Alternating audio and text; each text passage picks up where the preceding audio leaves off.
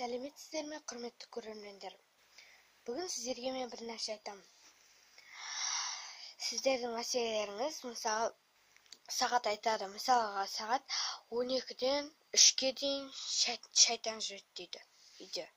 Мысалға мысалы емес енді шынымен солай ұйықтар кезде шынымен де бісмілләні айтып жату керек.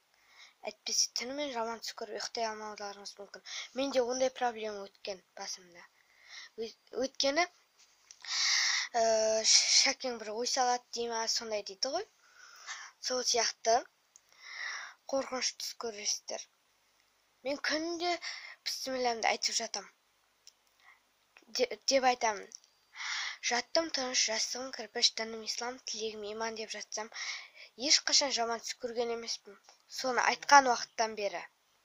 Аузу бирахима шайтан ражим бисмиллахи рахмани рахим деп те айту өте маңызды. Сондықтан сіздер де солай айтып жатыңыздар. Көресіздер. Рахаттанып ұйықтайсыздар. Өйткені жаман түстер денеңізді бойлап алады.